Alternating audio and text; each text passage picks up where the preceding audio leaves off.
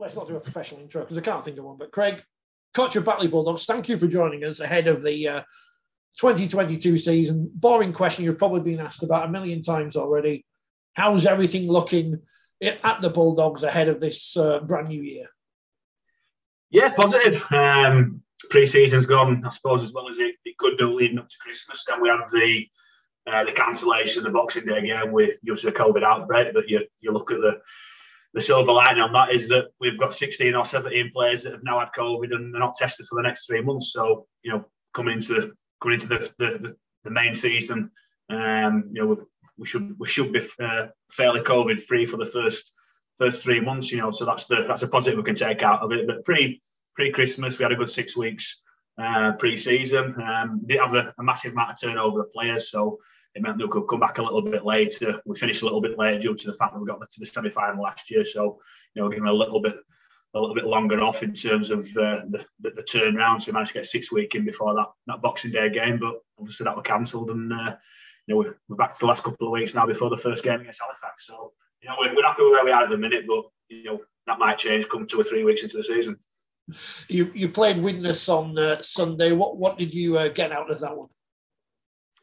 It was another good another good learning curve for us. You know, um, it's Widnes and another team that you expect to be in and around there in the positions that we're fighting for, as Bradford probably had as well. You know, so we had a good contest against Bradford the week before, another really good contest against Widnes. I thought Widnes looked really good. You know, very, very, very tough, very fit, very strong, and they looked dangerous when they when they had the ball hand as well. You know, so it was a good reminder for us that you know the teams that are going to be around us are going to be challenging. You've got to be on your you've got to be on your mettle every single week, and that's how close the championship's going to be. So it's it's, it's a good learning curve for us.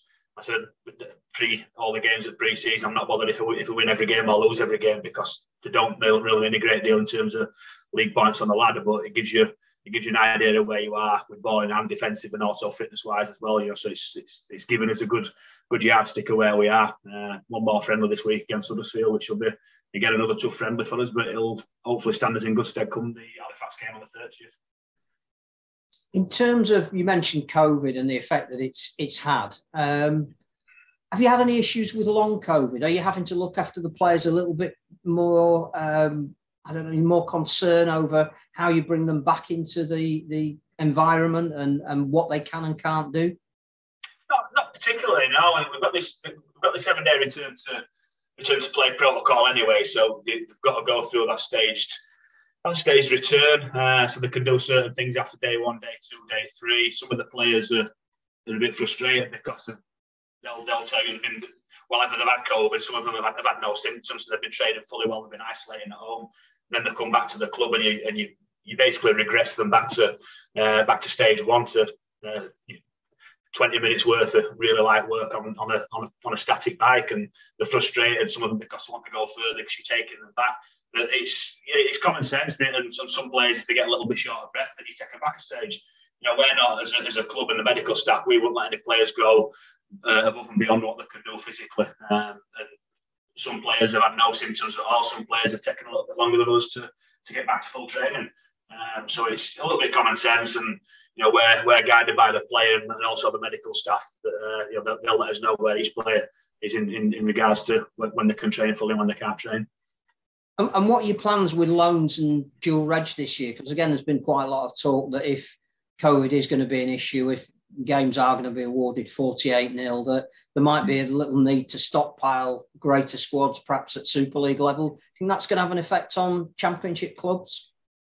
Um, I don't think it'll have an impact on us particularly. Uh, dual reg, we won't we won't do dual reg. We you know we're, we're Batley. We just seem to be a, an attractive club for Super League clubs to dual register. We you know we've been uh, we've been we've been a solvent club for over 25 years, and we pay, every, pay everybody uh, on time and pay what pay what they're owed, and it's a good family club. Uh, we look after the players, we look after the supporters, but that's not enough for us to get a, an attractive dual reg uh, partnership with anybody. But we'll keep trying.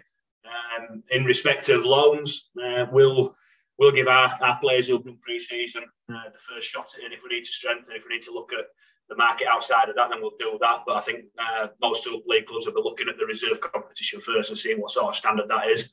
If the standard dips in that, I would imagine that Super League clubs will want their players going out and playing top end championship or at least at least championship level rugby. Um, but I, I think we'll, we need to look at what the standard of the reserve comp is going to be first before we see any uh, if any players come do come down uh, come become available for loan. I think if the comp- competition in reserve is is good and it's competitive, then they might want to keep the players there. But outside of that, if it if it's a lot of a lot of academy players that are filling the reserve teams, they might want their players going out and playing Championship or League One rugby to get some first team experience. The other thing I, I suspect, um, and you've very kindly written about this in in our latest magazine, is the championship this year again looks like the most competitive of the three divisions and that when you were going through looking at the uh, respective challenges probably what would you say six seven maybe even eight of the teams in the division got a realistic chance to think that yeah, they may just be up there come playoff time and pushing for promotion?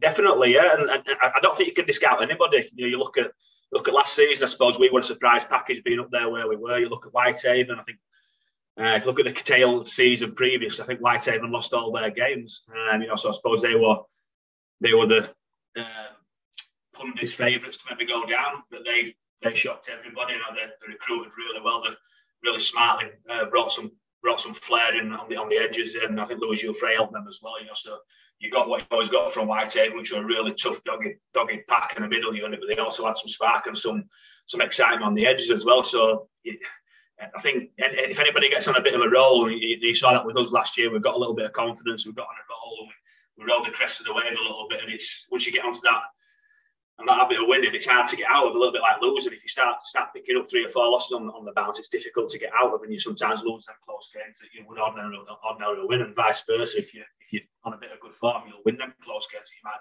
might ordinarily lose. So I don't think you can discount anybody this year. I think the majority of teams uh, in the championship have all, on paper they've all they've all strengthened. You know, you look at the, the quality of the players that have, have joined uh, the championship this year. Some that have dropped down from Super League level, and it's it's you know it's, it's mouthwatering some of the clashes that you that you can uh, you can see coming up this year. And you, you I suppose that the, top two on paper are going to be Featherstone and Leigh. You know, so the, the players that they've signed as well, they're, they're pretty much Super League squads by Albert State has been in the championship. So it's a really exciting exciting division, exciting competition this year it's not just the players who are coming into the competition. You, you get to pick your wits against Brian McDermott at Featherstone, who's won umpteen grand finals with Leeds, and, and Adrian Lam at Leigh, who was in the grand final just two years ago. It's, a, it's an amazing turnaround in terms of the coaching facility, uh, coaching uh, uh, appointment. It is. It is, yeah, and I think that's the, the attraction now of the championship. It shows that there's life outside the Super League, and I think anybody who watched the the playoff games, you know, the really tough, close, uh, close playoff games, um, very, very competitive, and, and you know, needs life away from Super League. The Super League isn't the be all and end all, and it's a different game. It's a different competition. We're not expecting to compete with uh, the Super League teams. It's not the same product. It is a different. It is a different product, but just because it's different doesn't mean say it's worse. And I think it's uh, the same with League One as well. League One's a different competition. To what Championship and Super League is. You know, so you've got you've got a, a, different brand of game all the way all the way down the structures, and there's there's some really attractive games in every single division that you play this year.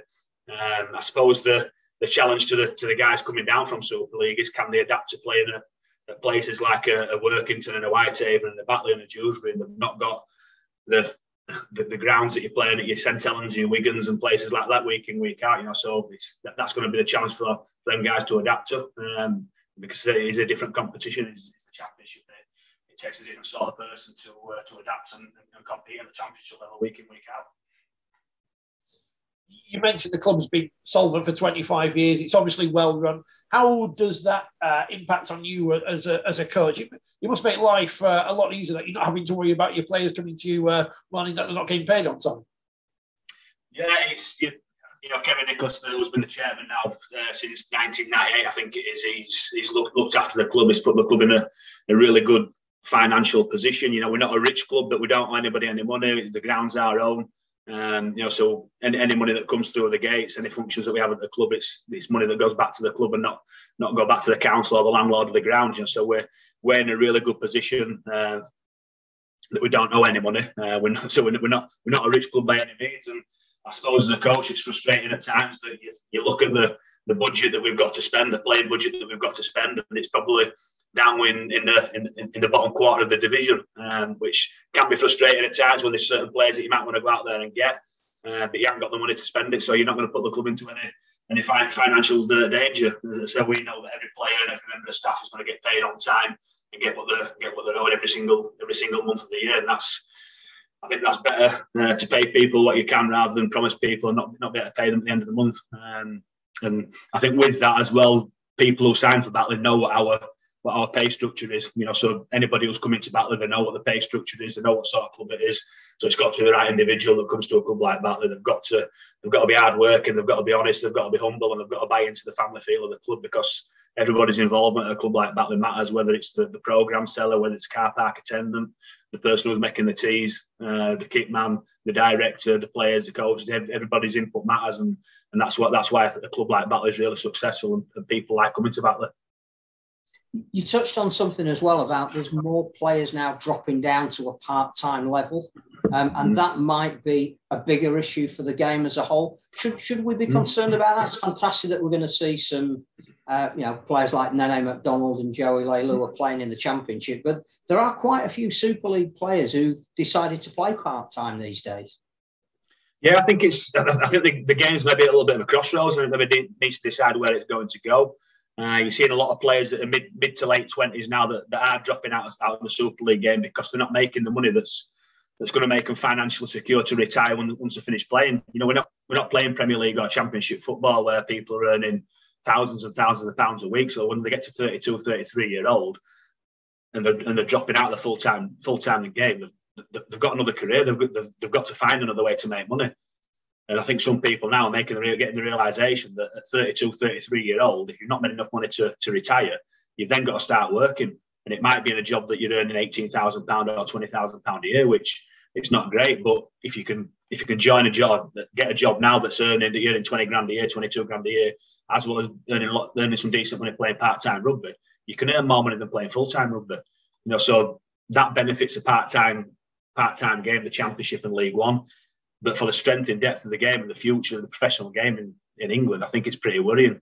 Um, hopefully, the the TV deal now, where we're getting some free to air games on Channel Four, it might increase the the attendances in terms of the, the, the viewing figures and maybe increase a little bit increase a little bit of uh, interest in the game, which might then give us a little bit more TV money for uh, for the next next Sky deal or whoever comes in, whether it's whether it's going to be a, a, streaming company or the BBC or Channel Four or Channel Five, whatever it might be. You know, so we, we need to get that get the game out there, which is it's happening this year. You know, there's a lot of, lot of games uh, being going to be streamed this year, whether it's uh, Championship, Super League, or League One. I think that's going to be really important for us to secure a, a real good financial package next time round. One of the uh, people who will be showing games is um, Premier Sports. You'll you'll be on Monday nights, your competition, and your good selves will be seen as well. Uh, good thing for the championship. Yeah, I think it is. As, as, I said before, I think the championship's a really good product. the more people see it, the more people it, it, it can hopefully attract. And you know, even even Super League Super League clubs, if they're not playing, can we get their supporters to come and watch us on a, on a Monday night? Um, you know, that's what that's what we want to do, and try and get as many people there as we can. Um, and I know people say it's, it's not it's not a cracking night in Monday night because people have got to work on a Monday and then go and play rugby, then work on a on a Tuesday morning. But I don't care. You know, I'll, I'll, play at midnight on Tuesday night if I have to. If, if, it gets if it gets a game out there so people can watch it, we'll make we'll make them sacrifices so people can can uh, can watch games because uh, that's what it needs. We need we need people watching the championship. We need people watching as much rugby league as we possibly can. Obviously, the championship is, is the bread and butter, but we've seen four teams now over the past few years get to Wembley in the 1895 Cup. How important would that be to the club to have a run to Wembley? Uh, it's been a while since Batley you've been there. Yeah, well, we, would not be there this year, would we? Because it's at Tottenham, so we won't be there this year if, if we got there. all about that. well, you can't make history going to Tottenham, yeah. Yeah, well, well, we'll, we'll go to Wembley. Maybe, maybe somebody else is playing at Tottenham uh, and make a day of it. Uh, but no, I, I, I, really like the 1895 Cup. I like the idea of it because it, it gives the teams outside of Super League. Because realistically, who outside Super League now is going to is going to get to a Challenge Cup final. You know, with it with the exception of uh, of Leo full time now and, and, and Featherstone who have got the, the players that they've got, you wouldn't really expect anybody else to to to make a serious challenge to get to uh, to a, a, Challenge Cup final. So I think anything that gives the players and the coaches and the fans the, the, the opportunity to get to a big occasion, I, you know, where we're going to grasp that with both hands. You know, it's something that we're, we're certainly going to go out and try try to aim for. We're not going to use it as a as an extended preseason friendly like some clubs might do. Um, we're going to use it as a competition that's that, that's there to win. You know, so hopefully we can we can you know, we can do ourselves justice in that. And if we do, then who knows, we might we get to a final. And, and the summer bash is back this year, not, not in Blackpool as it's been before, but but at Headingley, so a bit, bit less uh, travel for, for, for Batley. But how much are you looking forward to that being back on the calendar? Yeah, I think it's again. I think it's a good. I think it's a good uh, a good day or a good weekend there to to, to promote the, the, the championship rugby. You know, it's, it's, it, get all the games on, on, on TV on a on a weekend, and it's uh, it, it's something else there for fans to see that's different to watching Super League week week in week out. And yeah, it's not a Blackpool, but it's another. It's, it's a it's a field. It's a rugby field, it? it's, it's, a game of rugby that we've got to win. That's you know first and foremost. That's what we're we're concentrating on is trying to get two league points and. Uh, know, if we can get a lot of people there in the ground and let them have a good day, and you know the rugby league can promote it and, and get a lot of people there, then the atmosphere gets better, and, and players want to play in front of big crowds. You know, so hopefully we can get a lot of people in there, and, and the players can experience playing in front of a few a few thousand people more than what they would do normally. And just going back a little to the, the value of the 1895 Cup, I mean, one of the great successes for, for the Bulldogs in recent times was winning the Northern Rail. Um, how much did that mean to the club? How much did it trade on the back of that? What sort of civic pride was there for the town as a whole? And, and how important was it to, to get you to where you are today as a stable championship side? I think um, in, in, respect to getting us where we are financially, I don't, I don't think the club maybe gained a lot out of it financially. Um, but it's it's it's the day out and it's a success that clubs like like Batley don't normally get.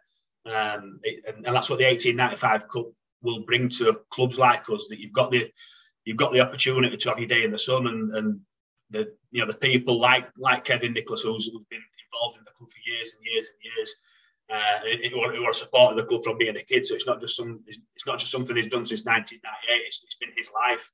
You know so the the reward that people the personal reward, reward and gratification for, for somebody like Kevin that's put a lot of time and a lot of money and a lot of effort into the club it's it's just it's reward for people like that and the supporters that have followed home and away through thick and thin. And you know, particularly with Batley, we've not over recent years, apart from the uh, the Northern Rail Cup and the TransPennine Cup in 1998.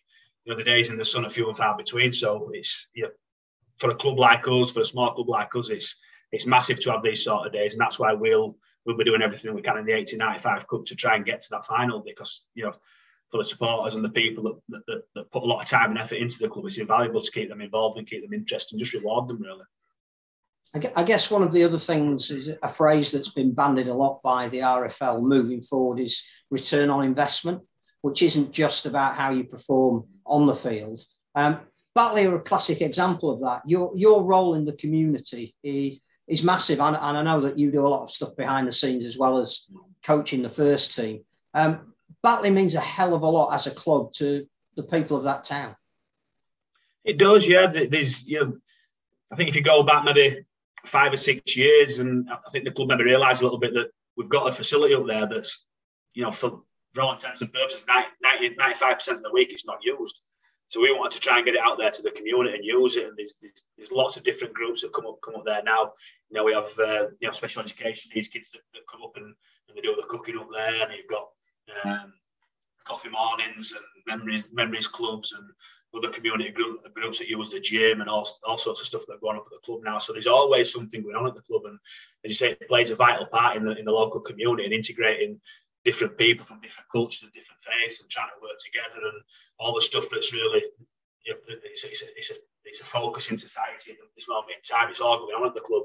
Um, and I suppose, I suppose as a club and for the uh, your return on investment, we're not necessarily rewarded for that because a lot of your return on investment is how many Twitter followers that you get and how many Facebook followers you've got and how many things on social media go on. You know, so it's not necessarily something that I suppose as a club we're particularly great at because again we, we're relying on, on, on volunteers and, and, and club directors that do all that sort of stuff. We've we don't employ a media person because we've, we've not got the money to do that. So you know, I suppose we're a little bit behind the times in respect of how we promote the club. And we, yeah, we could do it a, little bit better. I guess everybody can do that a little bit better. And yeah, it's something that we, because we we really could look at other clubs, you know, like, like York. York have done really well over the last few years in promoting the, promoting the club and promoting the games and promoting the the club to the people of the, of the city of York. And you know, that's something that they've done exceptionally well over the last few years. But as I said, where we are at the minute financially and as a club, we, we don't employ a a full time or part time media manager all done part time with other people around the full time jobs, you know. So um, yeah, return on investment on that on that side of things we can maybe improve, but we're doing what we can with the local community and the amount of people that come into the into the club now during the week that haven't got an involvement in rugby league or there's no uh, the, the, actual activity that's going on up there during the day is nothing to do with rugby league. It's quite large now, so that's something that the club can be proud of.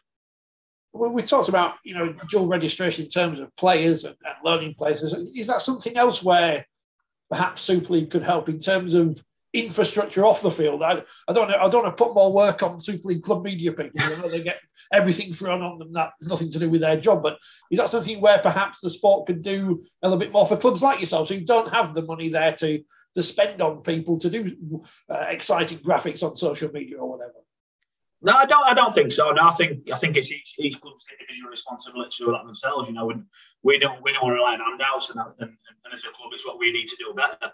You know, so we don't want to be relying on on Leeds Rhinos media giving us giving us some free work. It's something that we've got to do. We've got to develop as a club, and and we're we're trying to we're trying to get bigger, trying to get better, trying to trying to raise more money. Um, and again, looking at different things that are going on at, at, at the ground is uh, we've, we've, got we've got permission from the council this year to, to hold, hold some concerts up there. There's a beer festival that's going to be going on there. So we're looking at as a club at, at different ways to get different people to the club that aren't involved in rugby league because you know I don't believe there's a great deal of money in rugby league now, so we need to attract finance from, from other areas. And, and what we've got up there, like I said, we've, we've got our own ground up there. We've we're not reliant on the council, we're not reliant on landlords giving us permission to do stuff at the ground.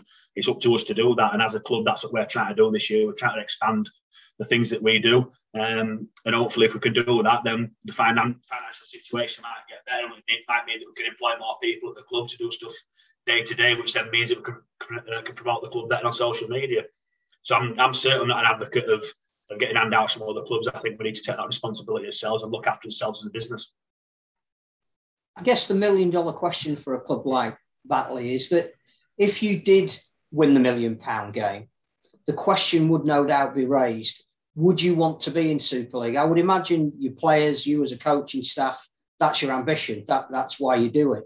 Um, would it would it be the kind of death knell that some clubs in the Premier League in football have suffered that they've sort of touched the sun and then it's it's burned them really badly? Do you still want to be a Super League club, or do you need to consolidate what you are and and and, and the place you've got in your community?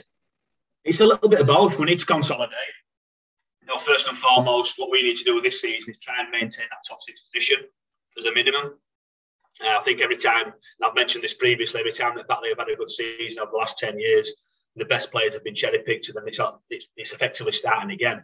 You know, we've not we've not done that this year. We've managed to retain everybody we want to retain, with the exception of one player. You know, so we're in a good position in respect of our playing squad. So there's no excuse why we can't maintain what we did last year. I know everybody else has improved. Uh, but, but so have we. I think we've improved on paper, so there's no reason why we can't do it again. Um, but again, you go back to it financially what we've paid and what other clubs have paid, where we're probably a, a long way behind what other clubs have spent financially. But just because you spend money doesn't automatically guarantee your success. Um, so if we can maintain that consistency and and develop that winning that winning mentality at the club, and we can we can maintain being a top six, top four club, and we get to the point where we're challenging for promotion, and we, and we do get up, then of course we go up. You know, but what we won't do then is we won't, we won't throw a lot of money at people that generally go from relegated club to newly promoted club because then all you get then is you get the duplicate team that's going to get relegated, again the season after. What we do and, and what we've said to the players this year, or what, what Kevin said to the players this year, well, if, if we did go up, we'd, we'd probably go with some sort of uh, dual role hybrid sort of uh, sort of club where we anybody who wanted to stay at the club and play in Super League on a part-time basis would do that. We'd obviously have to look around for some full-time players, but we certainly wouldn't be spending 1.5 million on people that have uh, that are floating around different clubs that go from relegated club to promote a club, and, and, and I see you in the same situation then. And the likelihood is, if we did that the first year, we'd come straight back down again. But we'd be in a better financial position the year after, to, again, to to have a better squad to compete in, in the championship to get promoted again, get again the year after and maintain some sort of consistency and some stability. Uh, and then who knows, within two or three years, we might be able to get that in that position to to maintain a Super League side. But you know, these are all dreams. You know, I'll probably wake up when I'm talking about this in a few minutes' time. But you know, these these are all dreams you want to aspire to. Why not? You know, we don't want to be a championship team forever. We don't want to be a League One team. You know, we want to be as high as, as high as we possibly can. As you say, players want to play at the highest level. I, me as a coach, I want to coach at the highest level, and the club wants to be at the highest level it possibly can be. And if that's if that's Super League, then why not? You've got a lot of um, strong community clubs as well, either in or around the town. Is the Bulldogs still a, a pull for, for those players? It's, it's difficult now with, with, with the lack of um, lack of, of reserve team structure because it's there's not there's not many people that you can get that come from the amateur game or that want to come from the from the amateur game because people play the amateur the amateur game now because it's it's, it's what they want to do. You know, there's, there's not that that consistency or that uh, that commitment where you're training three times a week and then playing on the weekend because if somebody comes from the amateur game, they're going to do it on a page of play basis. But for them to for them to be able to play, they're going to have to train three times a week. Um, and there's not always the commitment from the players to do that. And you can understand that. Whereas if it were if there were a reserve team structure, you could they could they could uh, again maybe dual uh, effectively dual reg with an amateur club, so they could continue playing with an amateur club, but also come and play with the reserve at the same time. So you could you could have a look at them in a, in a sort of semi-professional environment and see if they could be could, could be good for the first team. Um, yeah, I'm a, I'm a massive advocate advocate for, for reserve team rugby. If it weren't for reserve team rugby, I'd, I'd never played the first team game. You know, I, I, came through the reserve team structure. And a lot of players did that at, at the time that went on to play in excess of 200 games for the club. You know, so the, the reserve team structure does work. But Unfortunately, where we are at the moment as, as, as a game, we can't. We're not allowed to have a reserve team uh, as we used to have the reserve team. Now there's that many things you've got to put in place now to develop the players that, again, financially, we're not in that situation where we can spend that sort of money. Um, so players coming from, from the amateur game now, unless they're absolutely outstanding and they're willing to come and do pre-season for nothing and, give it a go, there's very few players that are going to come from the amateur game into the pro game. For people outside of the heavy woolen districts, because obviously I, mean, I, used to, I used to, I used, I used to work in Batley. I mean, work is a, a strong word for what I used to do. but I, I earned some money working in Batley. How uh, how important is it that obviously Hull and Hull FC, Hull FC and Hull KR, they want to finish above each other. Working in Workington and Whitehaven well. How important is it that you finish above Dewsbury this year? I'm not bothered. I finish above as long as we finish as high as possibly can. If that means we finish above Dewsbury, then, then brilliant. Um, I think the I think the bragging rights in the, in, in the local derby now it's it's it's not as I don't know, it's not as high as it used to be. I don't think. I think because of playing each other that many times over, over recent years, it's lost that intensity. You know, I, I, go back to when I when I first played, when I first first came into came into the first team, and Dewsbury were were riding high in the championship. And I think they won, they won the division two or three times through that that really good sort of championship team, the Division One team that Dewsbury had at the time. And I can remember we played them on a Friday night and we won 14 12, and it was the first time that Batley had won beaten Dewsbury in a number of years. And it was, you know, the, the euphoria that we had then as, as, as a group of players were, were fantastic. But you've gone through years where you've played each other five, six, seven times, and that, that intensity of the, of the derby game, for some reason, it's, it's, it's sort of diminished now. Um, so I don't think there's that intense rivalry that used to be there between the two the two teams. So I'm not particularly bothered as long as we finish as high as we possibly can, whether we're above Dewsbury or below Dewsbury, I'm not particularly bothered. Um, obviously, it's it's nice for the fans and it's nice for uh, for the directors finishing above your local rivals. But I think for for rugby league in the local area to thrive, both teams have got to be doing well.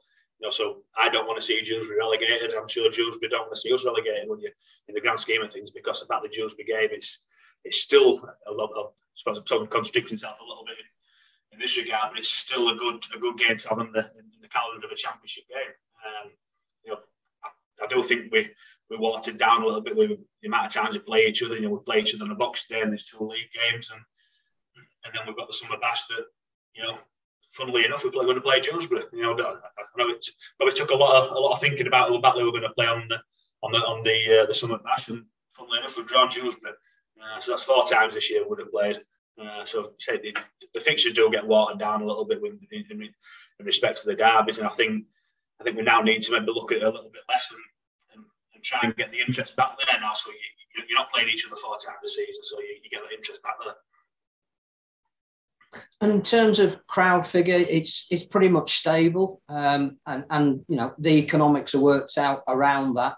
What what would you like to see it get up to in a, in a realistic sense? I, I think I think as a as, as, a basis for us to, to, to thrive and for us to grow, you know, we, we don't we don't want to be reliant on, on, on the away team supporters. You know, we don't want to be reliant on on Leigh, Leigh and Featherstone and Bradford and Halifax or whoever else that are coming bringing a lot of supporters to to improve our our games. We we want our our own supporters to get. I suppose we could get above 750, 1,000. You know, our supporter base at this moment in time is quite an elderly supporter base.